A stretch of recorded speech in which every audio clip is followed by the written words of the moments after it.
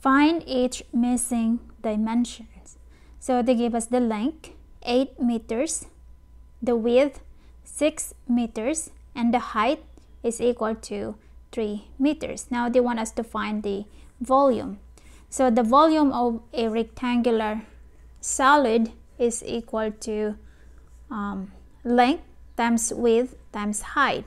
So volume is equal to the length times width times the height.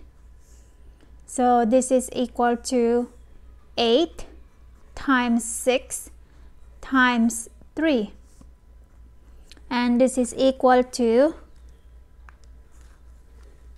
8 times 6 times 3 equals 144. Cubic meters. Now the unit is equal to um, cubic meters. There's three of them, so cubic meters or m and then you have to put a small 3 on top.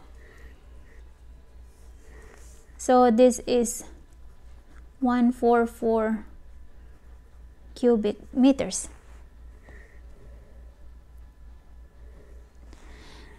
Next one, S is equal to 11 meters.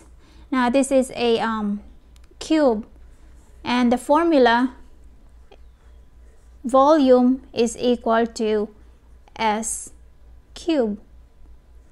So this is equal to 11 times 11 times 11 or the same as 11 cube or this is 11 cube it's equal to so 11 times 11 times 11 it's equal to 1331 1331 now again the unit is equal to cubic meters.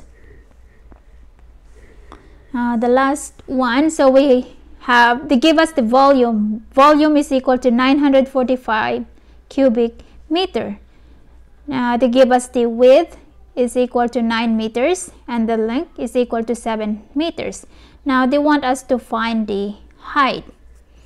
So again volume is equal to length times width times height. So now they give us the volume, so we put in the volume 945. Now they give us the length 7 times the width 9 times h. We don't know what is h is. Now we have to solve for h.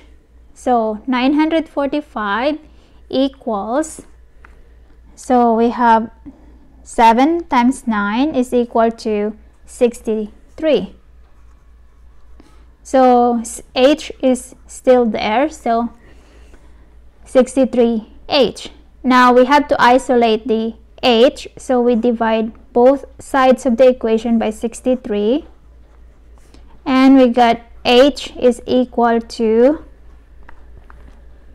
so 945 divide 63 it's equal to 15 so the height is equal to 15. Now the unit is equal to m, 15 meters. Now we can check our answer by um, plugging in 15 for h. So we have 945.